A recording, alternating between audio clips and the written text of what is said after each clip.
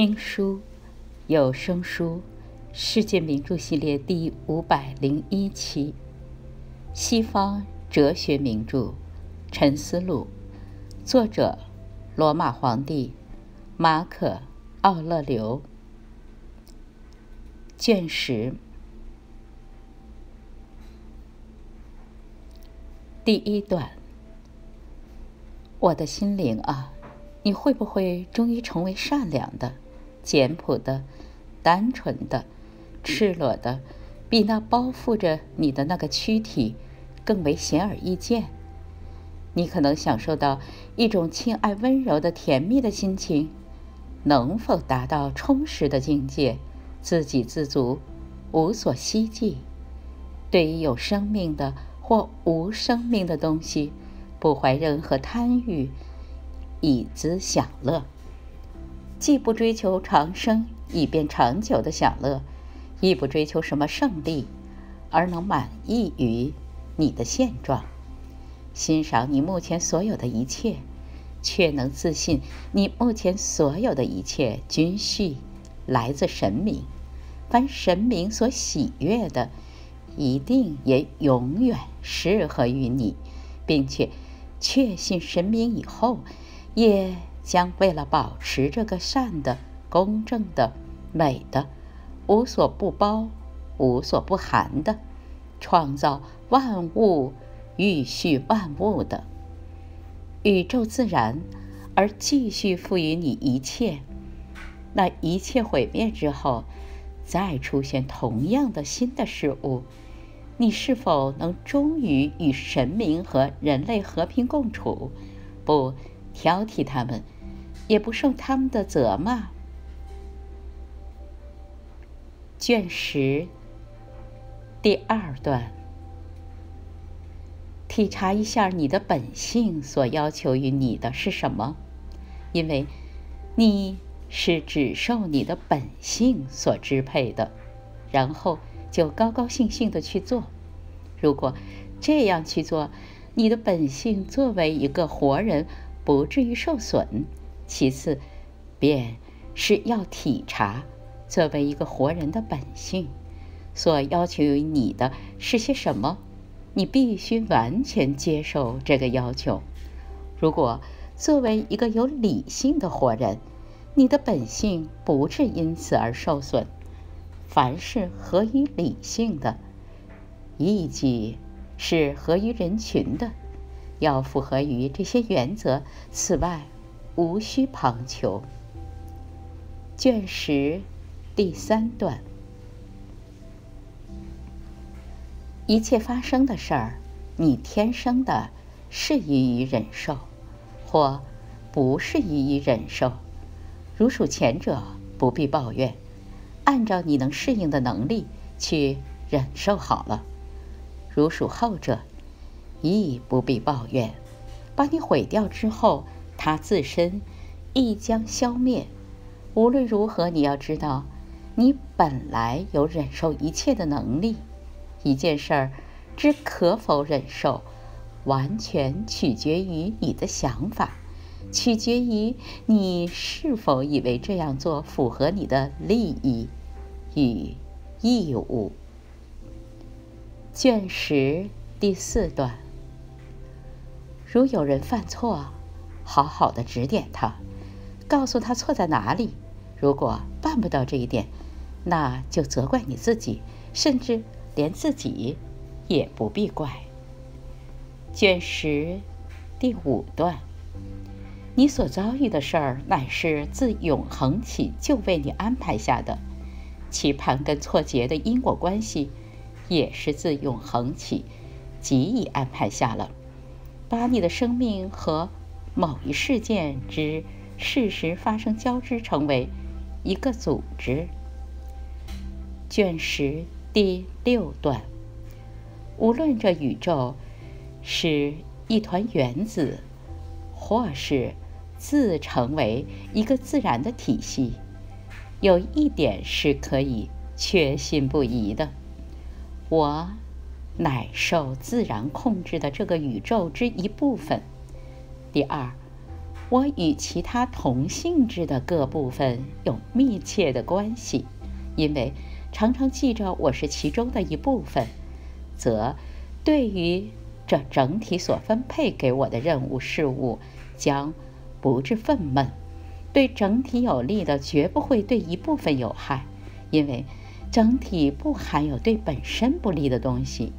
一切事物都有这样的一个共同原则。而宇宙自然有一格外的特点，不受外力压迫而产生任何有害于本身的事情。只要我记着我自己是这样的整体之一部分，我对一切发生之事儿就会感觉愉快。只要我与同类的各部分保持密切的关系。我便不会做任何背叛人群的事儿。我会关心与我们同类的各分子，尽全力去做有关公共利益之事儿，不做任何与这相反之事。这样做了，生活一定会顺利地进行下去，恰似一个为大众谋福利的公民。他。高高兴兴地接受国家所交配的任务，一定是生活愉快的。卷十第七段，整体的各个部分，宇宙所有的一切，不可避免的要消灭。所谓消灭，即是变化之谓。但是，如果这个过程对他们而言是件坏事儿，而且是不可避免的坏事儿。那么整体也必永远不能满足的工作下去，因为各部分总是在变而又变，并且生来就注定要在不同方式下消灭的。难道宇宙自然动手把坏事儿带到他自己的各个部分，不仅使各部分陷入罪恶，而且必然的陷入罪恶？难道宇宙自然不知道其情形？是如此的，这两种可能均不足置信。但是，假使我们把“宇宙自然”这个名词撇开不提，并且解释说这些事物乃是自然的，如此这般，那么一面主张说整体中各部分自然的要有变化，一面对于各种事物之解体成为原来的组成部分。又表示惊讶与苦恼，这态度实在是太荒谬了。因为我所组成的原质，总有一天要分散，再不然就是要起一种变化，由固体变为泥土，由精神变为空气，经过变化后复归于宇宙的理性里去，轮回到由火来烧炼，或是借了无穷的变化力而。推陈出新，所以不要以为那固体和精神是在你生的时候即已开始属于你了，那只是昨天或前天，由于你吃的东西与你吸的空气而长成的。要起变化的，乃是你所摄取的这一部分，并非是你的母亲胎里的产物。纵然你的母亲所生的那一部分。和你后来生长的一部分有密切的关系。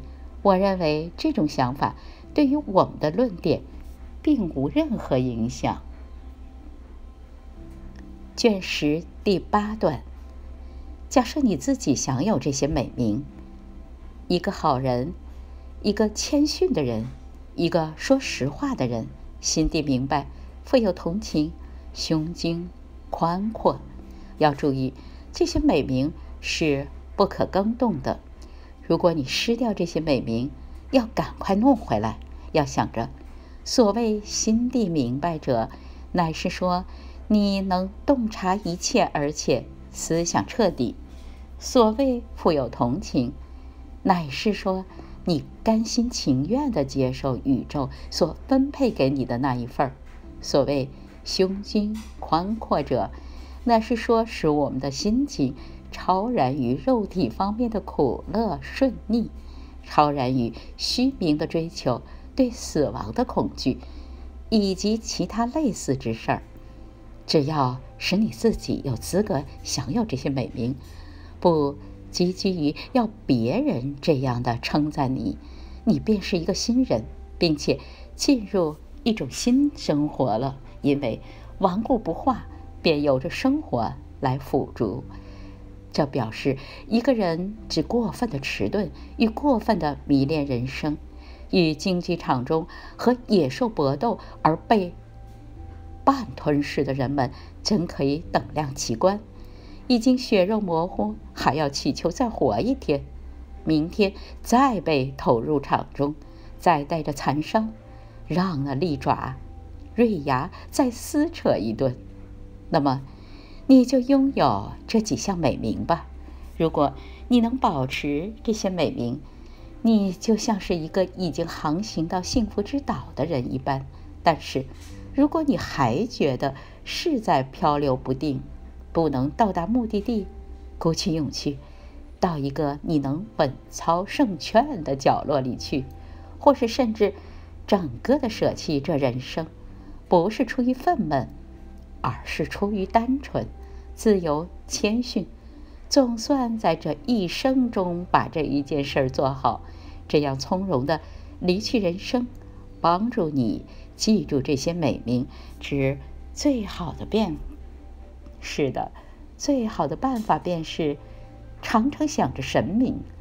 神明要的不是谄媚，要的是一切有理性的人都要和他们一模一样。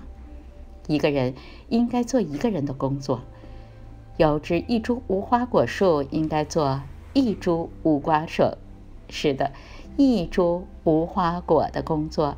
一条狗应该做一条狗的工作，一只蜂蜜应该做一只蜂蜜的工作。卷十第九段：嬉戏、战争、怯弱、麻木、奴役，这些事儿，一天天的会把你这崇奉自然者所理解的、所接受的那些神圣原则。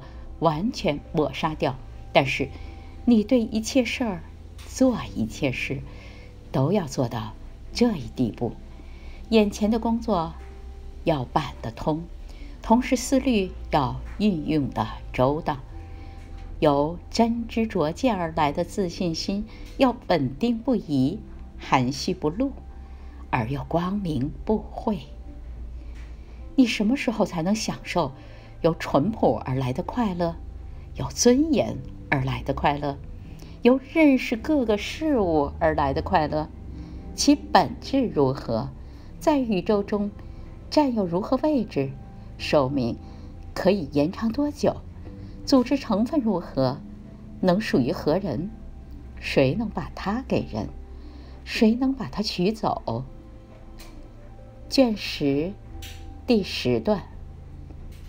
一只蜘蛛捉到一只苍蝇而沾沾自喜，一个人捉到一只兔子而沾沾自喜，另一人网得一条小飞鱼而沾沾自喜，又一人捕得野猪而沾沾自喜，更有一人获熊而沾沾自喜，还有一人击败了萨马西亚人而沾沾自喜。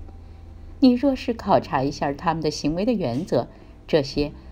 不全是强盗吗？卷十，第十一段。对于万物之交相变化，视作一系统的观察，密切注意这一门学问，勤加研究，能使胸襟开阔的学问，概无过于此者。一个人若肯这样做，他就会撇开他的躯壳。而且一经觉悟到，他几乎立刻必须放弃一切，远离人寰，他就会全神贯注地在行为中力求公正，在任何遭遇中，都会把自己交给宇宙自然。别人对他如何议论，如何群想，如何对待，他根本不加考虑，因为下列二者使他心安理得。先前一切行为是公正的，先前的命运是满足的，他放弃一切烦恼与野心，他别无愿望，他只要依照自然法则坚守一条正途，寻到正途之后便追随神明的不踪。卷十第十二段，需要自己决定如何去做的时候，何必迟疑？如果你能看清自己的路子，高高兴兴的走去，不要转向；如果你看不出路子，退回去和顶高明的人商量商量。如果有什么别的障碍发生，秉持显然公正的原则，尽可能审慎的向前迈进好了。因为一举成功固然最好，不成而失败将是唯一的失败。悠闲而又慵懒，愉快而又镇定，做一切事儿均追随理性者，即是如此。卷十第十三段：从睡眠中醒来，立刻就要问你自己：如果由别人做一桩公正合理的事儿，而不是由你做的，这在你看起来？可有什么不同吗？没有什么不同。难道你已经忘记了，对别人妄加毁誉的人，在床上，在饭桌上总是这个样子的？他们做的是些什么事儿？他们避免的与追求的又是些什么事？他们如何偷窃掠夺，不用手脚，用的是他们最珍贵的那一部分？靠那一部分，一个人可以产生出信仰。谦逊、真理、规律与良好的精神。卷十第十四段：有良好教养的谦逊的人，对有钱给予、有钱收回一切的大自然说：“你愿给什么就给什么，你愿收回什么就收回什么好了。”但是他说这话。并无逞强之意，只是出于，是的，只是出之于纯然的服从与善意。卷十第十五段，你没有多久的时间可活了，要像是住在山上一般的活下去，因为无论住在这里或那里都没有关系，只要他。能像是一个世界公民似的生活下去，让人们把你当做一个按照自然之道生活的人看待。如果他们不能容忍你，让他们杀掉你，因为这样总比过他们那样的生活好些。卷十第十六段。从此莫再讨论一个好人应该是什么样子。去做一个好人。卷十第十七段，要不断的把时间看作一个整体，把本质看作一个整体，把每一件个别的事物在本质上看作一个无花果的种子，在时间上看作钻子的一转。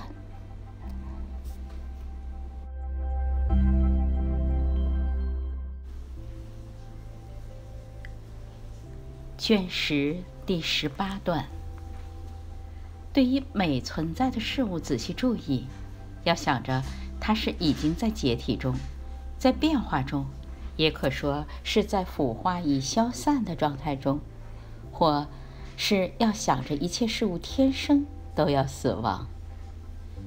卷十第十九段，人们在吃东西、睡觉、交媾。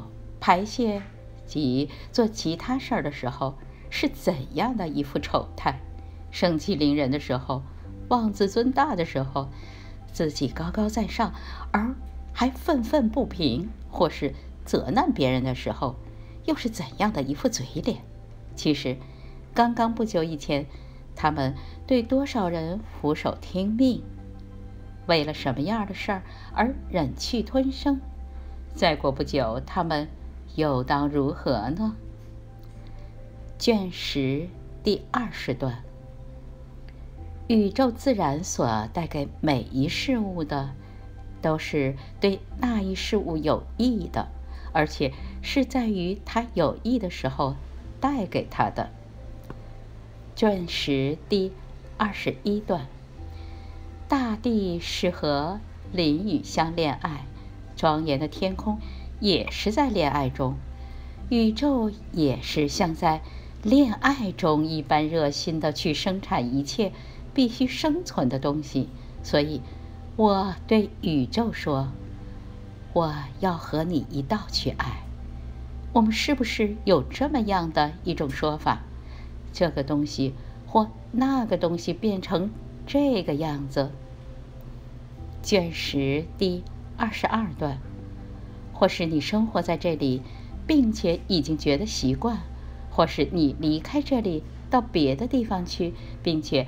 完全出于自愿，或是你尽完了职责而死掉，此外别无他途。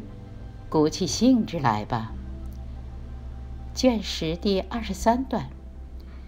永远要看清楚，一个人居住的地方，就是像我所告诉的那样，在山顶、海边或任何你所欢喜的地方，情形完全是一个样儿。你会发现柏拉图的话颇为适切，被城廓所环绕，犹如在山上挤羊奶时被群羊所环绕。卷十第二十四段，我那主宰的理性究竟是什么？我现在使它成为什么？我现在是怎样的用它？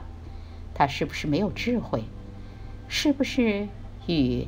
乐群善邻的天性完全隔绝，是不是与肉体沆瀣一气，以致被肉体所支配？卷十第二十五段：弃主远扬的人，便是一个逃亡者；法是我们的主人，违法的人便是逃亡者。被悲哀或愤怒或恐惧所激动的人，总是希冀。那宇宙的主宰或支配人生命运的法则，能使过去已经发生的、现在正在发生的或未来将要发生的某一些事儿不发生。所以，被恐惧或悲哀或愤怒所激动的人，便是逃亡者。卷十第二十六段，一个人把精虫。放进子宫里，走开了，然后另外的机缘把它接过去，在上面下功夫，制成一个婴儿。这工作完成的何等美妙！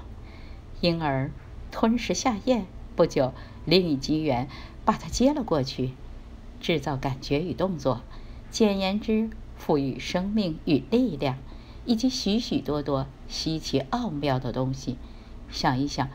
这一些在暗壁中完成的事儿，侦查那个动因何在，恰似我们侦查那是一件东西下去，另一件东西上来的那股力量一般。虽然用眼睛看不见，但并不因此而看不清楚。卷十，第二十七段，不断的想着。目前存在的东西，远在我们有生之前即已存在，而且悉知在我们身后将依然存在。把你经验中所看见过的，或从历史上学得的，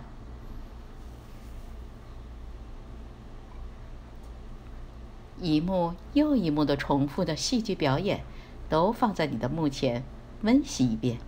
例如，哈德良之整个朝廷。安东尼·派厄斯之整个的朝廷，菲利普之整个的朝廷，以及亚历山大的、克罗索斯的这些情景，与我们目前所见的毫无二致，只是演员不同。卷十第二十八段，为了任何发生的事儿而感苦恼或不满的人。应视为在祭祀时做牺牲而挣扎嘶叫的一头猪。一个人独自躺在床上，默默地伤探着命运的枷锁，也像是那头猪。须知，只有理性的人才会自动的接受一切，盲目的服从，乃是一般生物的必然现象。卷十第二十九段，做每一件事儿，逐步停下来问自己：死亡是不是可怕的？为了不能做这一件事儿。卷十第三十段，人的错误行为使得你震惊吗？回想一下你自己有无同样的错误，例如把钱当做好东西或乐事，或追寻无聊的美名等。因为这样一想，你便很快的忘记愤怒，并且还可以自行宽解。这人是不得已的，他有什么办法呢？或是？如果你有办法铲除那不得已的情形，卷十第三十一段，见萨提龙，就要想起苏格拉底提斯克斯，或尤提克斯，或海门；看见尤弗拉提斯，就要想起尤提季昂或西法诺斯；看见阿西佛龙，就要想起超派。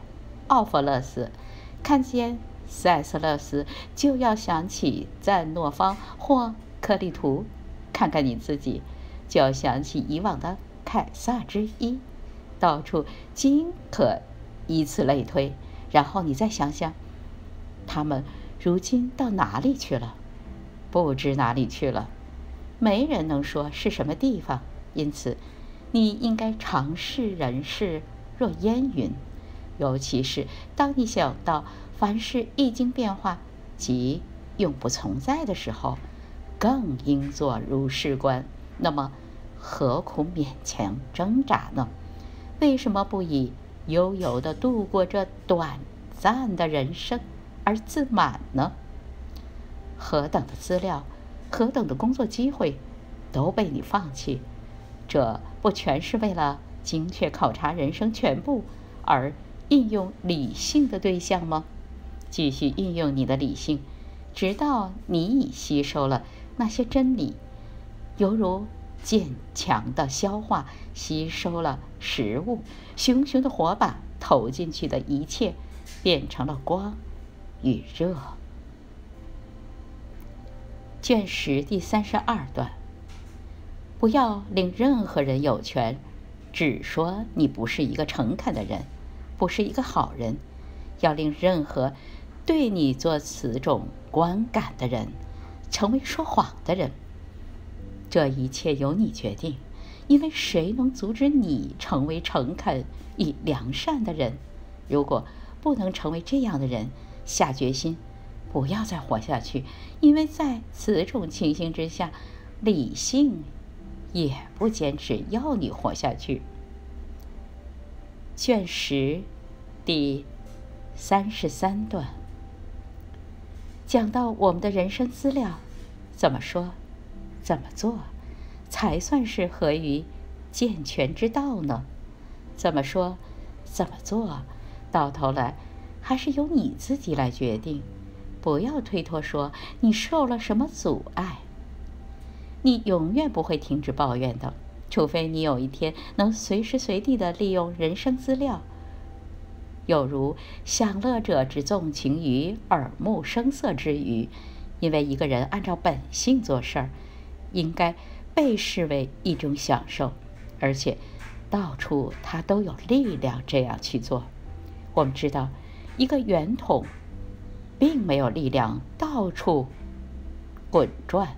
水火或任何其他由自然控制的东西，或由无理性的灵魂所控制的东西，均不能自主活动。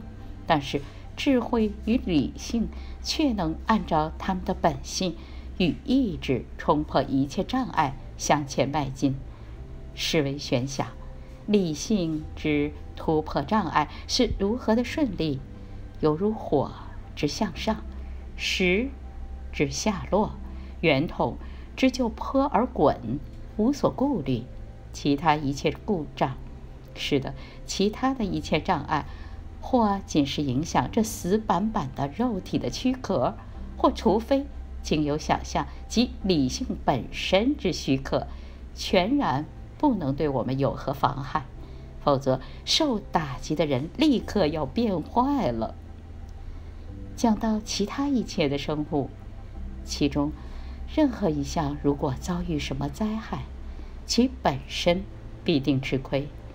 但是一个人遭遇这种情形，善于利用灾害，会变得更好，更值得称道。简言之，要记住，自然即已使你成为一个市民。凡不损及于世者，当然亦不会损及于你；不损及于自然法则者，当然亦不会损及于世。所谓意外之事。没有一件伤害到自然法则，那么不伤害自然法则者，当然亦不会有损于世及市民。卷十第三十四段，对于一个有道之士，浅显而至简的格言，即足以警醒他。勿陷入悲哀与恐惧。例如，芸芸众生犹如风扫落叶。你的女儿即是小小的叶子，大声喊叫，以为有人会听的人们。散布于此的人，或是相反的散布咒骂的人，或是背后诋毁的人，都是些叶子。给我们传递深厚美名的人。也是些叶子，因为这一切到了春季便又发芽，不久风又把它们吹落，树林中再生出新叶子代替它们。短暂是一切事物的共同命运，但是其中没有一桩你不苦苦追求或避免，好像那是永久存在的一般。过不了多久，你便将闭上眼。是的，抬入你入梦的那个人，不久将又有人为他唱起丧歌。卷十第三十五段：一个健全的眼睛应该能看到一切可看到的东西，但是不能说“我只要绿颜色的”，因为那乃是一只病眼的特征。健全的听觉与嗅觉，应该能听到、嗅到一切可听到、可嗅到的东西。健全的消化力，对于一切营养品，应该像是磨坊对于谷类一般，予以加工磨制。同样的，一个健全的心，应该准备应付一切遭遇。但是这心，如果说让我的儿女获得安全，让一切人赞美我的一切举动，这心便无异于是专找绿颜色东西的眼睛，或专找软东西的牙齿。卷十第三十六段，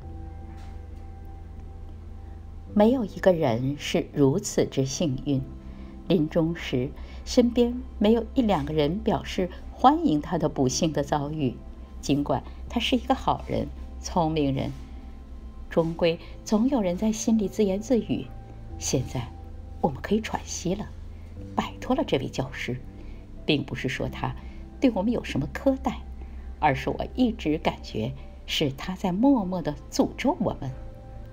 好人尚且如此，以我们自己的情形而论，成千成百的人必将有更充分的理由。”为了我们的去世而庆幸，临死时想到这一点，你将比较安适的脱离人生。如果你这样的推论，哇，现在要脱离人生了，在此一生中，我最亲爱的人们，我曾为他们如此的辛苦，为他们祈祷，为他们烦心，他们都会愿意我离开，希望从中或。可得到更多的舒适。任何人又何必在这世上恋恋不舍呢？不过，你要走开了，不必因此而对他们有所介意，要保持你的本来面目，依然是和蔼大方，不要像是被抢夺去。脱离人生，要像一个人善终时，灵魂脱离肉体那般的安然自在。因为是宇宙自然把你们结合在了一起，现在自然把这个结解开了。我离开人群，是的，现在自然把这个结解开了。我离开人群，就像离开亲属一样。不是被硬拉开的，而是无抵抗的走开，因为这分离也是自然的一个步骤。卷十，第三十七卷。关于别人做的每一桩事儿，要尽量养成习惯，反问自己：这人怀着什么的目的？但是先从自己开始，先检讨自己。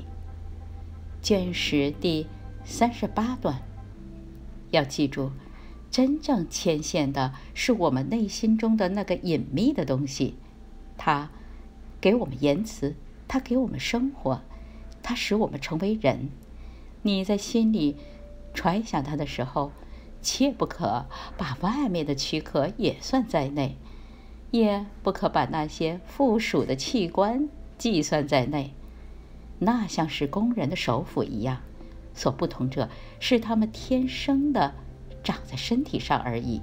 这些部分一旦脱离了那使他们活动并使他们存留的动因，便毫无用处，犹如织工的梭、作家的笔、御者的鞭。